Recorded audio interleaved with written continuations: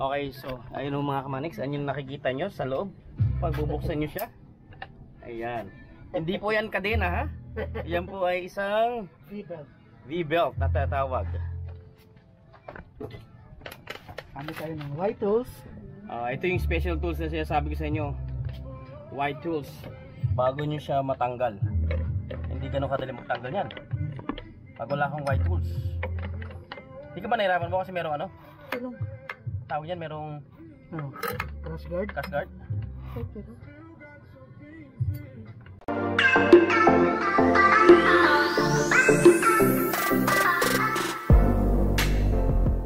Hey, what's up mga kamanix? Another day, another vlog mga kamanix. And today mga kamanix, sa lahat ng mga mayroong Honda Click Game Changer dyan, especially version 1 and version 2. Ngayon, ang gagawin natin is to do a maintenance guys of CVT cleaning. Kung paano maglinis nung sa side ng motor. Para makita nyo naman kung paano siya gawin. And para makita nyo rin kung gaano kadumi. Paano mangyayari kapag sakaling hindi siya nalinisan. So, samahan nyo ako guys. Tara! Yan, ito po yung motor ko. Yan.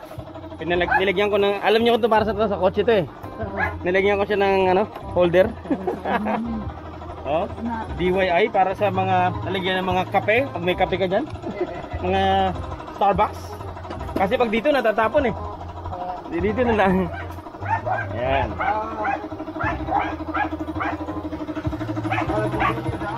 Para convenient pagka babiyahe. Bok, Wilo. Tirahin na natin to. okay. So merong special tools to eh. Hindi basta-basta tools to na ginagamit. White tools. Mahihirapan ka pag hindi ka sanay.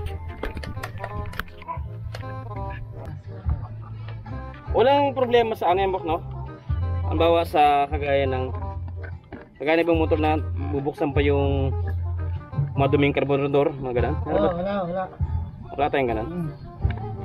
Dito carburetor eh. Ah, Ay, ito. ah so walang problema. Oh. Yung iba, nagpapa FI cleaning sila. Oh. Pero pwede namang hindi, hindi muna. Kasi bago pa yung motor mo, Oo nga naman. hmm. kami tayo ng T-range.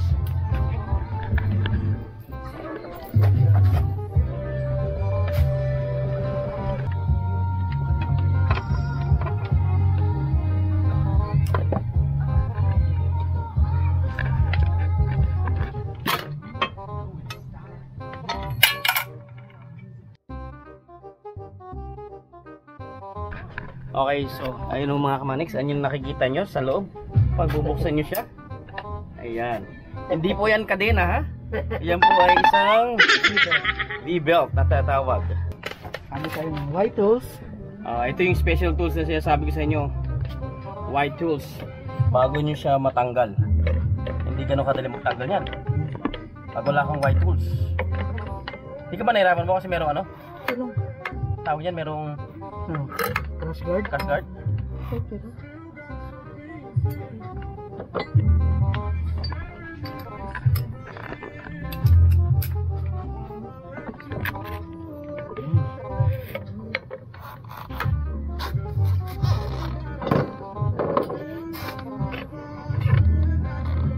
Kailangan kasi ng white tools para mag hold. Para lumuwag.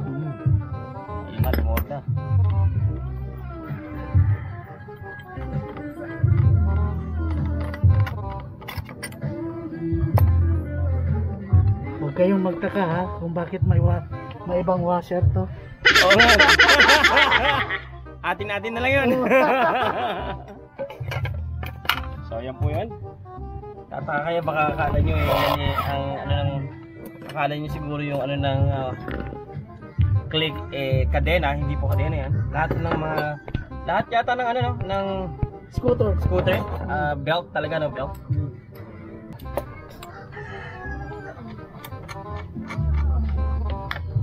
Kailangan din ng hold dyan. Hindi mo siya mabubuksan.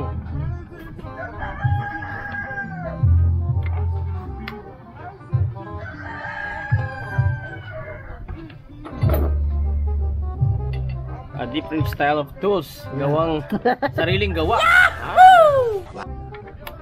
Para hindi ka mahirapang ano. O hindi ka mahirapang magtanggal. oh.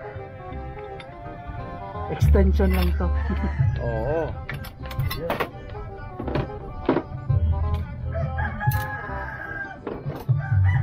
Ayun, natanggal na. Lilinisin natin ng gas, kerosene. Yes, okay. So, Ayun, ang dumi. dumi oh. Alikabok.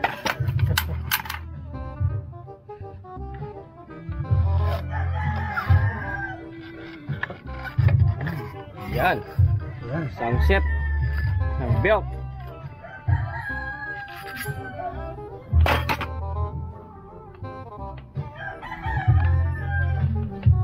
Ito yung pulley. Ah, yan yung pulley. Okay. Pulley set, drive set. Saka ito yung bola. Yung bola niya. Ayan. maraming bola. Hmm, Anim. Anim na bola. Hmm. Hindi naman nagagasgas. Nabibiyak ba yung bola? Hindi naman ano. Hindi naman pero magkakanto to. Ah, Ah, hindi pa naman oh. So nagkaka nagkakanto Oo. siya. Parang ano to? Parang yung old na 2 peso bill. Ganun. Ko na, meron na oh. Oh, ano? Oh. Pero okay lang yan. Pwede pa. Pwede pa. Okay, okay, okay. Hindi naman to pang karera eh. Anong cost nun? Kasi aakyat yan dito sa gilid Okay. pag Mabilis. pagtaas ng torque niya. Ah, pagtaas ng Oh, torque niya. iikot kasi ito. Okay, okay, okay. Yung naka-minor lang dito. Nasa baba, oh. Oh, pag pag ginagasolinahan mo, Oo. Pag mataas yun. torque niya, oh, Oh, pag nag-RPM na, tataas siya. tataas siya dito. Ah, so kaya nasa Oo. Gagasgas. Oh, tsaka, Okay. pero hindi naman madaling ano, mas Matagal din lang. oh, matagal. So kailangan palitan din yun minsan. Ah, pag ano na, pag yung lahat na, Okay. may kanto na lahat. Na bola. Okay, so ngayon bubugahan na natin. Bilib ako dito sa kaibigan ko si ano, Marlo eh. May compressor eh. Oh. Para malinis nga naman, di ba? Talaga yan ang malinis malinis. So, yan po ang mga parts na makikita nyo sa loob ng side nito. Ayan. So, itong nakikita nyo guys, yan yung lalagyan ng filter. Ang laki no? Air filter. Air filter yan. Ang laki ng kaka niya. Pero tingnan nyo sa loob. Kung gaano kaliit lang air filter, eh, eh, eh, yung air, uh, air filter niyan. Okay, yan na po, binubuksan na. O, nakita nyo? Ayun. Ito na, oh. Ayan lang, ganyan lang kalaki. O, tingnan mo yun, walang laman. Ganyan lang kalaki yung filter, napakadumi. Tapos kung bubuksan mo, ang laki-laki ng space sa, li- sa loob. Oh, wala namang laman. Kung nakikita niyo yung filter, ito lang po yung ganyan kaliit lang yung filter niya. Ayan, oh. Laking space lang, no? Laking space. So, it's cleaning time. Cleaning time. So, hugasan niyo po ng tubig. Hindi, joke lang. yung iba, sinasabon nila. Talaga sinasabon na, no? Oh, Okay lang, siguro after Okay nun, sabunan ah, gasolinahan mo na lang ulit Oh. para hindi ka lawangin. oh. So, number one, ulitin natin, ang number one maintenance lang ng click or lahat ng mga tinatawag na scooter, eh, CVT cleaning and air filter. Yeah. And ah, Change change oil, no? Change oil. Baka matalsikan Sige, sige, sige. Yan ang kagandahan ng compressor. Kung wala pa kayong compressor, subukan yung hipan. Pwede namang walang compressor, tsaka ano lang. Ah, hi- gamitin nyo Punasan na. nyo. O, punasan nyo na lang. Hmm. Tama nga naman. Punasan nyo na malinis. Hmm. Hindi kayo satisfied. No, Hmm. gamit pa kayo ng WD-40. Oh, Magsayang nga lang kayo. Ma magastos nun. Hindi kayo pag coke ang binabad mo dyan, magtamis yan. Baka lalo mag Lalanggamin. magganit lalo yan. ang coke matamis, di ba? Magganit yan. Pero anong cost minsan nga, Bo, pagka ano, ah, minsan ang bagal ng hatak niya. oh, kasi yung ano, particles ng nito, Oh, ayan. yan. Oo, madumi na oh. Madami na, no? Uh, nagkukos ng dragging. Ayun ang cause ng dragging Mm. pag madumi na. no? Dahil na pag akyatin, Mm. Eh, Mahina na? Mahina? I mean, hindi, eh, parang mabagal, hindi mo mahina, parang ano lang. Di, iba talaga yung pag bagong linis talagang ang bilis ng arangkada eh. May ano ako dyan, Bok. May ano ka po? May bola ako dyan. Aba, Combination lang, ano. hahaluan mo na ibang Oh, bola. ibang bola. Tatlo-tatlo. ba, nice. Para... Yun yung ginawa mo kaya nun, di ba? Oh. Eh, Yung sa akin din, yan din, combination. oh, meron pang natira? Oh, tatlo lang ano eh. Tatlo lang yung kinabit ko kasi yung kinabit ko lahat, Hmm. Di ba ang dating? may ano siya, may arangkada, Pero, tsaka ang bilis niyang makuha yung top speed. ah, pero ang takbo, Pero yung takbo, ang bilis din, pang Ah, okay. ano lang, pang short distance. pang short distance. Pag, Oh, hi- pero pag highway na, hindi niya ano kaya. tayo eh, Long distance oh, tayo. long eh. distance tayo, ano. Naman karera yung sasalihan namin. Oo, oh, hindi mo karera yun sa atin. Ang nandito sa atin, joyride lang eh. Long, long trip. Long trip lang sa atin. Long trip eh. Joyride eh. Yan, no? Ang dumi. Grabe ka dumi.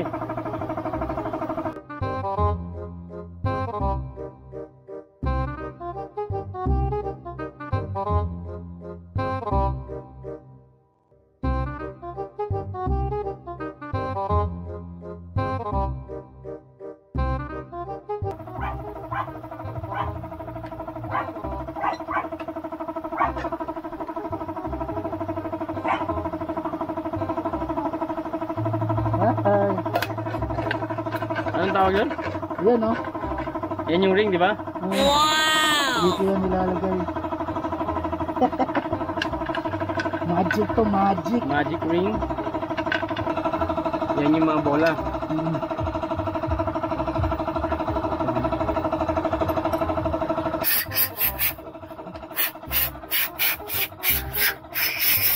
Anong advice mo, Bok?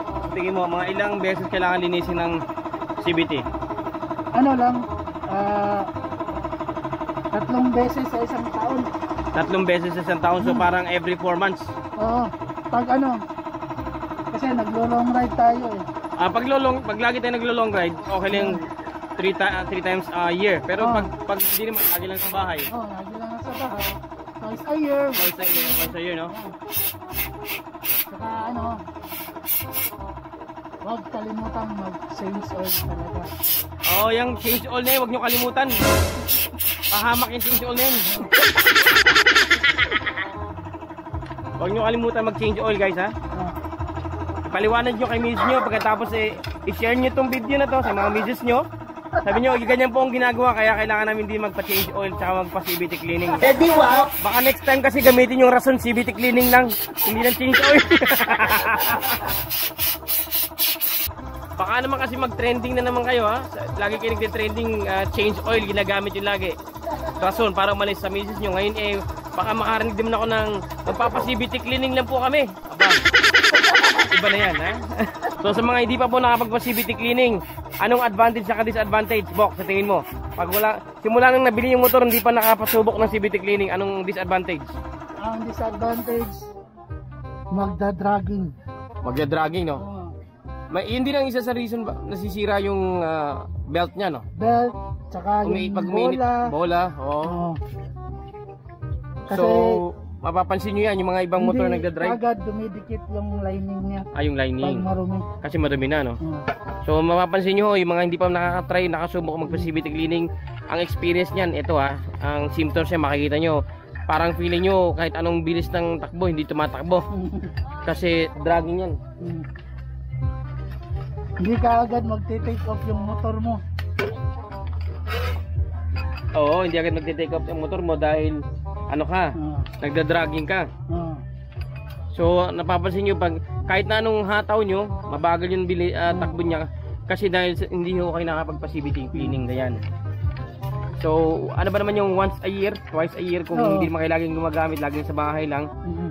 Pero kung lagi kayong long distance, like yun na nga nasa Manila, no? Yung mga galing ng, halimbawa, ah Caloocan ka, tapos Makati ka pa magtatrabaho, abay, kailangan nyo magpa-CVT cleaning four times, ah, four times ah, a year. Required yan. Mm. Dahil yan din ang cause makakasira ng mga bola, ng belt, pan belt niya. Kung ba naman pan belt mo mag-init, madumi na mainit pa, ay magka-crack talaga yan. Hmm. Instead na mura lang yung gagastos niyo magpalinis, eh, napagastos kayo ng isang, Bibili pa kayo ng bibili ano. kayo ng maraming parts niyan. Pag nag-crack yan, Oo. nabasag. Pero advice ko pag ano, Mhm. 25,000 kilometer ng takbo ng Motor, 28,000 kilometers. Yan, pa, CVT ano, cleaning. Palitan nyo na ng ano, Ah, palitan na oh, belt. ng belt. Oh. Okay. Huwag yung hantayin na maputol. Maputol. Baka may tumatakbo kayo, Oo. maputol. Mag... Hindi naman yun, s- pero hindi naman tendency na ah, parang babara sa loob. Hindi naman. Hindi naman, pero Hindi ka na makakatakbo lang. hindi ka na makatakbo. Oh, hindi ka Saka makakatakbo. maraming masisira. Marami masisira o dadamay. Matigas din yung belt, yung belt Oo, ha, kahit paano ha. Oh. So 25,000 ha? Oh, Kilometers. Oh. Tandaan nyo mga kamaniks ha, mag 25,000 kilometers na ang motor nyo, mag-change na kayo ng belt. Okay? Yung iba, tinatanggal nila to. Alin? Ito, Para? clutch lining pag nagki-cleaning. Tsaka to, Bakit? yung sa akin, hindi na. Oo. Kasi, nakaset na yan. Oo. Yung iba kasi, nasisira yung lock nila dito. Kapag tinatanggal Oo, pa, no? tinatanggal pa. Oo nga naman, kasi nga naman mo, tatanggal ko, mag-pressure ka naman. Oh. Saka may grasa to sa loob. Oo, Pag may nilinis mo, ayun, mawawala na yung grasa. mawala yung grasa sa loob. Oh. Nilagyan mo, pag nadamihan mo ng nadamihan mo ng grasa, ayun, magkukos ng dragging yun kasi dumidikit yung alikabok.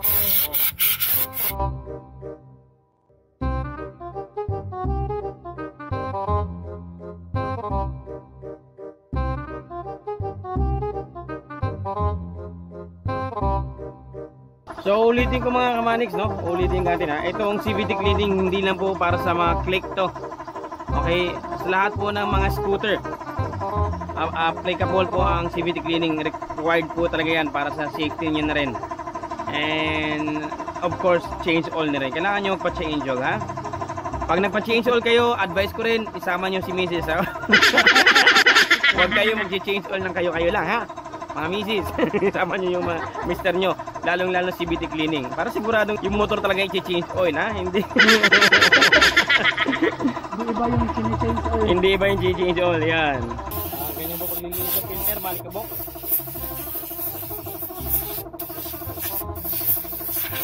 Pwede pa to? Pwede pa yan. Ah, Papalitan ba yung filter? ah, mapapalitan. So, kakabit na natin guys. Tapos na tayo maglinis sa lahat. Kakabit muna natin yung filter.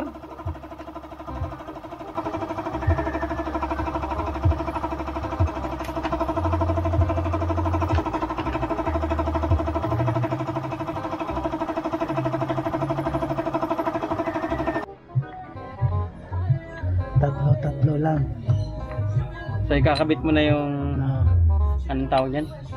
Bola? ah. Fly ball. Fly ball?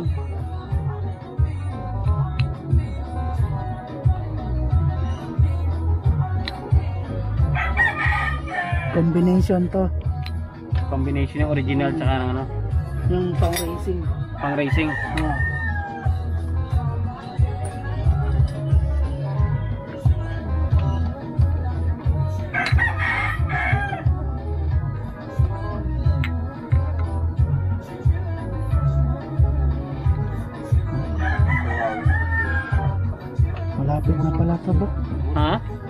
Malapit na to palitan. Ah, saan nakakabili niyan ba? Ano sa ano lang sa the exam. Naman sila. Oh, ano ata lang. Ah 20 ata yung isa. Ah, okay. May para sa do exam yan? Oh. Pero pwede pa to. Lalagyan mo na yung grasa. And, ano kakabit Check mo? washer. Check washer. Ayan.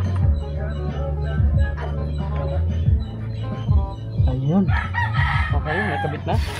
Naipasok na. Lagyan ulit ng ah, Grasa. grasa. Konti lang. Oo, pagdamihan. Tama-tama lang. Yung proper way po ng paglalagay ha. Ka pagkabit ng ano, Pagkabit ng pump belt, oo.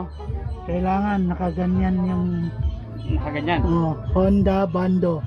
Nababasa nyo. Nababasa. Oh, para hindi bumaliktad. Yung, hindi yung baliktad. Ah, hindi pwede baliktad. Oh, hindi Kailangan, pwede. okay. Kailangan.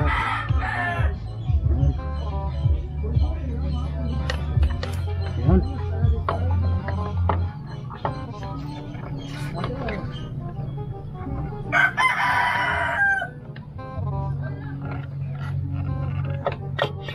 Ayan. Ayan. Kayong Punasan muna natin.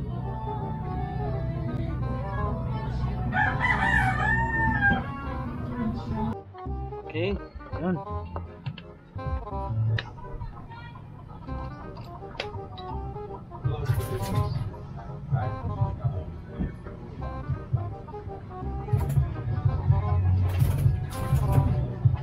Okay, kailangan na higpitan ang gamit ng special tools.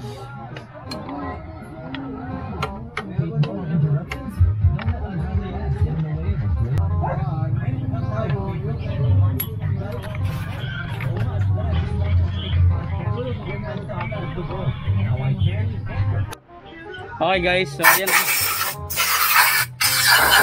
Nakabit na po yan. Ito na po. Nakikabit na lahat. So, i-cover na natin. Ibabalik na natin lahat. Na-cover. Ay, balik na lahat.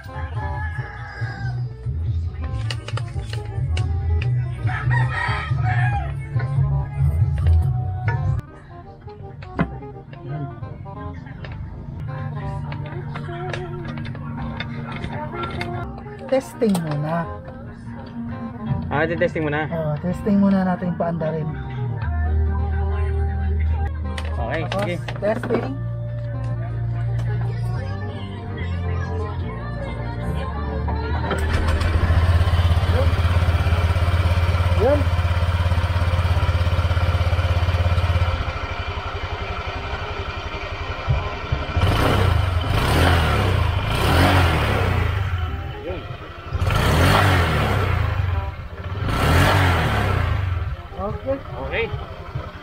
Okay ba sa all right?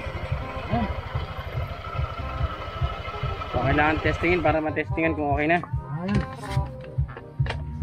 Natin yung tornilyo lahat.